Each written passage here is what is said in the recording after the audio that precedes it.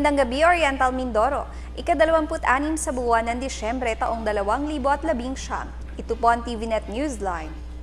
Sa una ng mga balita, buhawi sa Barangay Balingayan at Kanubing Dos, anim na bahaya ng winasak at isa ang nasugatan. Bagyong Ursula, nagtala ng mahigit 2,000 stranded passengers na nagpalipas ng Pasko sa lalawigan.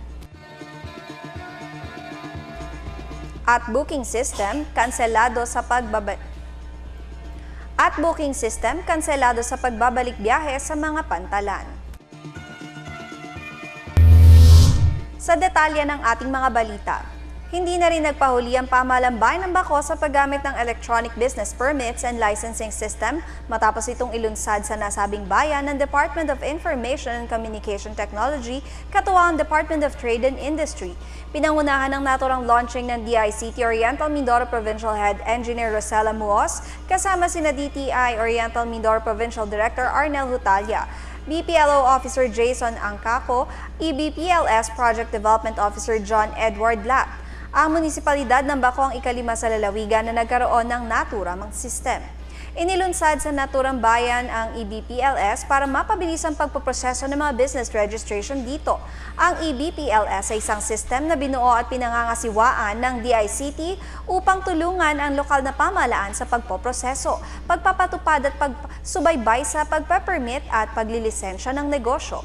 Ibinibigay ng libre ang naturang system sa mga interesado at kwalipikadong lokal na pamalaan at bago ito ibigay, kinakailangan munang sumailalim sa pagsasanay ang mga LGU kung paano ito gagamitin. Dumalo rin sa launching si Municipal Mayor Reynaldo Marcong nagpaabot ng kanyang pasasalamat sa mga ahensyang tumutulong upang mapabilis ang pagbibigay ng serbisyo sa mamamayan ng kanilang munisipalidad. Inatasan naman ng mga LG yung iproseso ang mga business registration sa loob ng dalawang araw para sa mga bagong application ng business permit at isang araw naman para sa renewal na nangangailangan ng pirma mula sa mayor o designated representative at treasurer para sa recommending approval.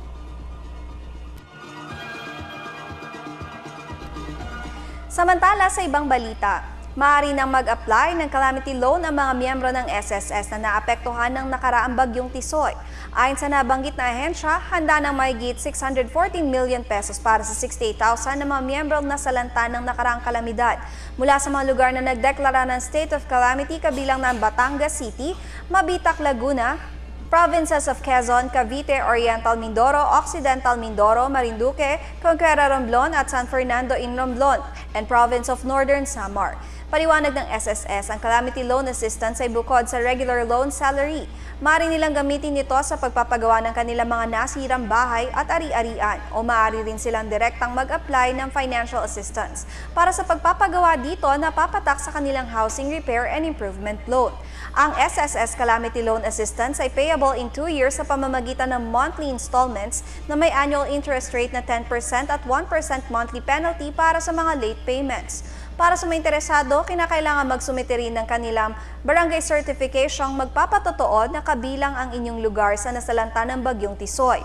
Ayon pa rin sa SSS, ang mga nagnanais na mag-calamity loan ay inihikayat na mag-apply sa pamamagitan ng kanilang online facility o magrehistro sa my.sss para sa billing statement matapos maaprubahan ng loan. Sa mga nasa ilalim naman ng Loan Restructuring Program o SSS-LRP, kabilang na rin yung mga tumanggap ng Total Permanent Disability and Retirement Pensioners ay hindi qualified na mag-avail ng Calamity Loan Assistance. Para sa karagdagan tanong at impormasyon, maaaring magsadya lamang sa SSS Calapan City Branch o mag-email sa emberd underscore relations at sss.gov.ph. Antabayan na ng iba pang mga balita sa aming pong pagbabalik. I like this feeling, it's so, so cool. I'm just here chilling, there's no place I'd rather be. I know this feeling, I feel it too.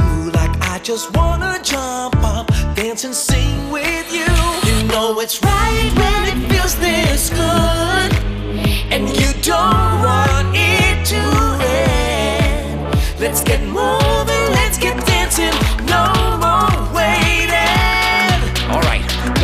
show on.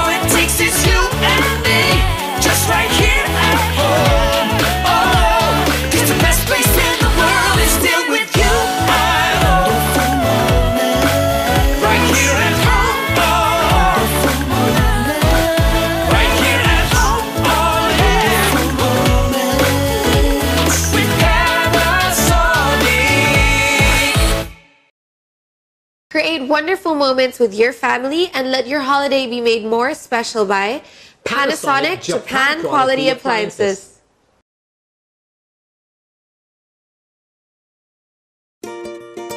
My Sophia really loves summertime, but the heat can get unbearable for her.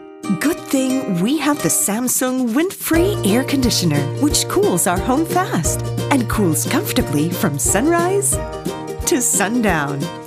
No sleepless summer nights for my baby.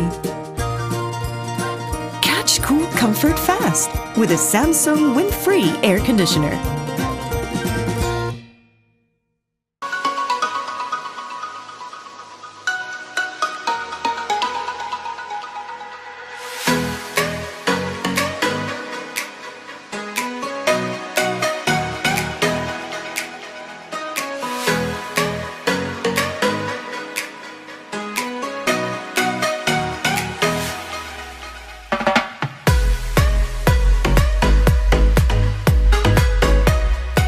Extreme Premium Quality Best Price. Available na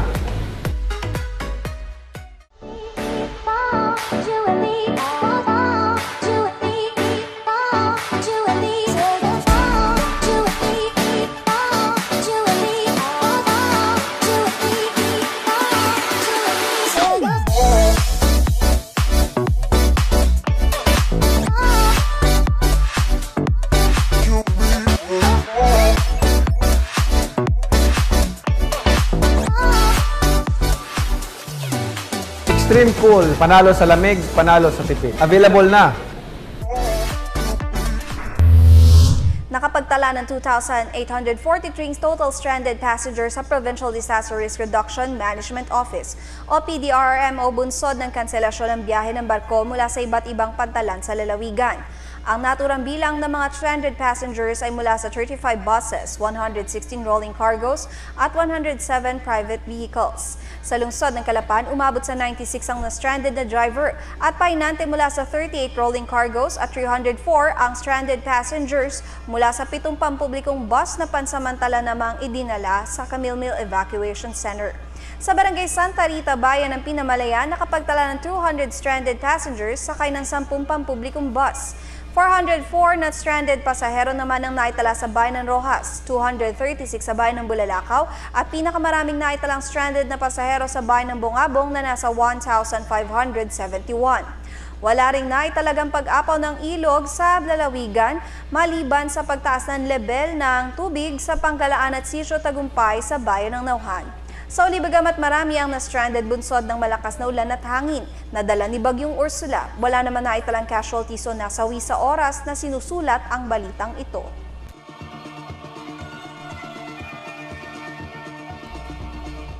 Samantala, di pa man sumasapit ang Pasko ay nagtaas na ng signal ang pag-asa at nagkaroon na rin ng kanselasyon ng biyahe ng mga barko sa mga pantalan. Dahilan naman upang ma-stranded ang nasa may 300 biyaherong pansamantalang nagpalipas bagyo sa Camille Multipurpose Hall. Sa araw ng kalamidad, patuloy naman ang mga kawani ng pamahalang lungsod sa panguna ng Calapan Public Safety Department at CC Disaster Risk Reduction Management Office upang matiyak na ligtas at nasa maayos ang kalusugan ng mga na-stranded na pasahero. Katuwang ang iba't ibang agency, nagsagawa rin ng mga ito ng food pack distribution upang matugunan ng kanilang pangangailangan. Ilang oras bago sumapit ang Pasko, binisita naman ni City Mayor Arnon Panaligan ang mga na-stranded upang kumustahin ng mga ito at lalo pat magpapasko at wala silang sa kanilang sariling tahanan. So, di naman sa mga na-stranded ay mula sa pitong bus na na-stranded dahil sa kanselasyon ng biyahe ng barko patungo sa iba't ibang probinsya katulad ng Iloilo, Capiz, Aklan at Antique. Magbabalik po ang TVNet Newsline. In chasing my dreams, every day is a race. For every second I dedicate and every effort I put in, I want bigger results to come out. To turn every small step into the biggest achievement. For every little triumph leads me to a brighter future. Whatever your journey, go with our new fuels designed for efficiency. Choose Shell Fuels. Agarang naglibot ang pamunuan ng Philippine Ports Authority PMO Mindoro sa pantalan ng Kalapan upang bisitahin ang mga na-stranded na pasahero matapos ang pananalasa ng bagyong Ursula sa lalawigan. Maraming pasahero ang palabas na ng lalawigan nang naantala ang pagbiyahe sa bisperas at araw ng Kapaskuhan. Ayon kay Leo Romero, Acting PSD Manager PPA PMO Mindoro, may labing tatlong pasahero ang na-stranded sa pantalan habang ang ilan naman ay inilikas sa Camille Mill Gymnasium. Nagpapasalamat naman si Romero sa mga ahensya at individual na nagbigay ng tulong sa mga pasahero na na-stranded. Simula nung kabagyuhan, meron kami ditong 13 passengers na nasa loob ng PTB na pinoprovide namin ng food, katulong ang ating operator ng PTB. Tapos yung madami, 300 or less 350, nasa Camille Mill Gymnasium. So parang nagpapasalamat nga ang PPA sa mga kababayan nating tumulong na marami namang nag-post at nakita natin yung pagtulong ng iba't iba't government agency. So ang PPA nakapag-provide ng food nung Pasko, nung 25, lunchtime. So yung mga nakaraang araw ay katulong natin dyan ang city, ang provincial, at yung iba't ibang mga ano private na gobyerno na tumutulong sa kanila.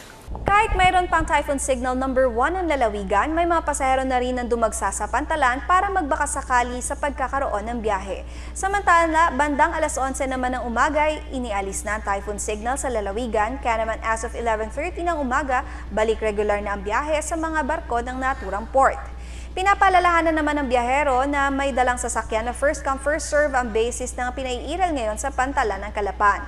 Kaya naman mangyaring makipag-ugnayan na kumuha lang ang mga ito na number sa mga kawani ng PNP at City Public Safety Department na nakatalaga sa C5 Barangay Santa Isabel.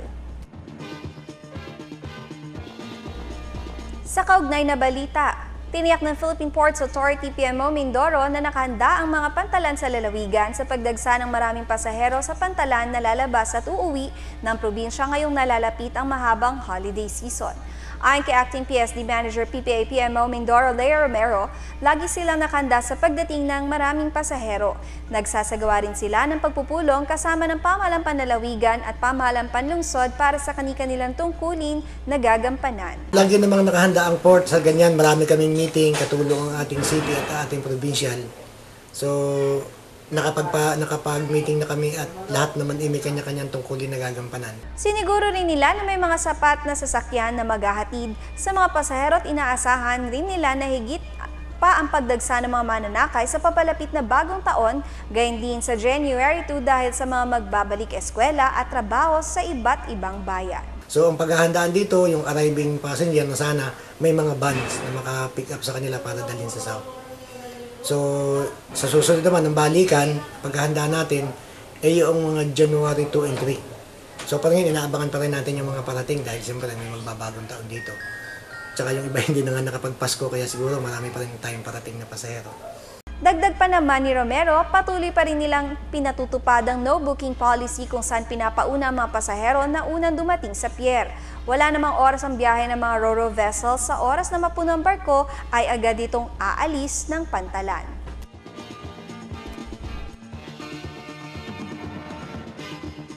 Samantala sa ibang balita, anim na bahayan at isang sasugatan sa buhawing ng minsala sa mga barangay ng Balingayan at Kanubing 2 sa lungsod ng Kalapan. Ayon sa ulat ng Provincial Disaster Risk Reduction Office, ganap na alas 2 ng hapon ng 25 ng Disyembre nang namataan ng ilang residente ang nasabing buhawi. Bagamat marami ang nabigla at nataranta, wala namang naiulat na nasawi sa naturang insidente.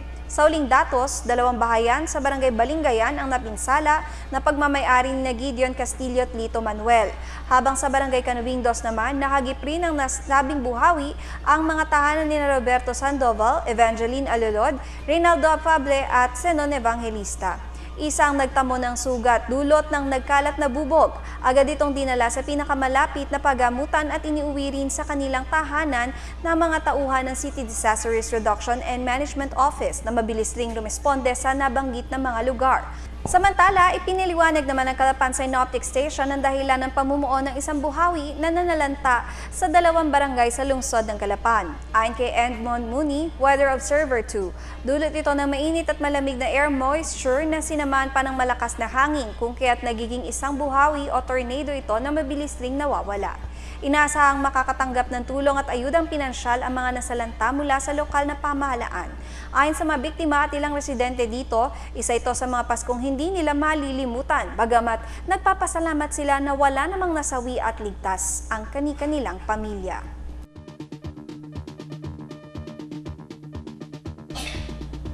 Tampok ang iba pang mga balita sa aming pong pagbabalik. Bakit ka kasi kumabit? Alam mong di tama yan, di ba? Huwag ka nang gumamit ng pag-aari ng iba.